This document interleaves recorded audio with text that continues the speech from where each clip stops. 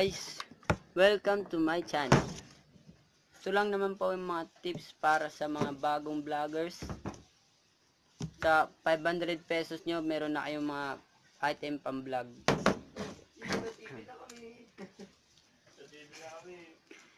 Ito yung ano, 100 pesos lang to siya sa Lazada.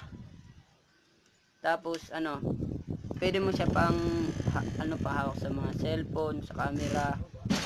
Parang ito, ito worth of 399 lang. Pwede mo siya pang video sa ano sa pag nagba-vlog ka, pwede mong i-video.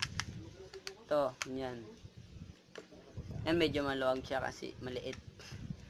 Worth of 399 lang to siya guys. Pwede na kayo mag-vlog. Gamit lang yung camera na to. Kung gusto nyo naman yung vlog nyo is pang diving sa ilalim ng dagat, yung mga gusto nyo, mga trip-trip nyo sa ilalim ng dagat kayo nagba-vlog, ito, camera na to. Ano siya? Waterproof na camera.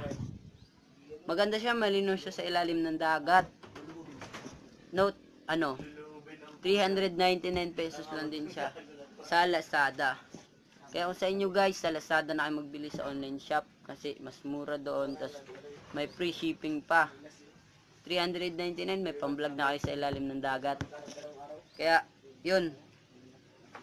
Para sa mga bagong vloggers dyan, just comment below para re-reply ko kayo kung saan makakabili ng mga gantong gamit. 399, pwede na kayong mag-vlog sa ilalim ng dagat. Kung gusto niyo naman yung gantong camera, hindi siya pang ilalim ng dagat pero ano, malino din siya sa ano, pang vlog-vlog. At ito yung ha- ano, panghawak sa mga camera kasi maluwag to eh, kasi maliit. Pwede mo siya kahit ano eh, pwedeng stand yan, pwedeng ganyan, yan.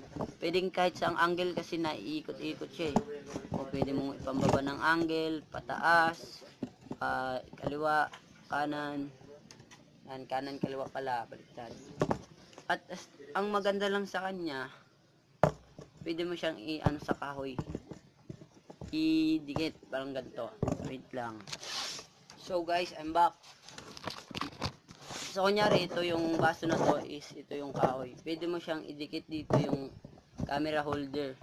Yan, ganyan. Para pwede mo siyang ano lang, hayaan mo na lang, hindi mo nang hawakan. Tapos pwede mo pang ilipat-lipat ng angle kung lilipat-lipat kayo ng pesto. Yun. copy like it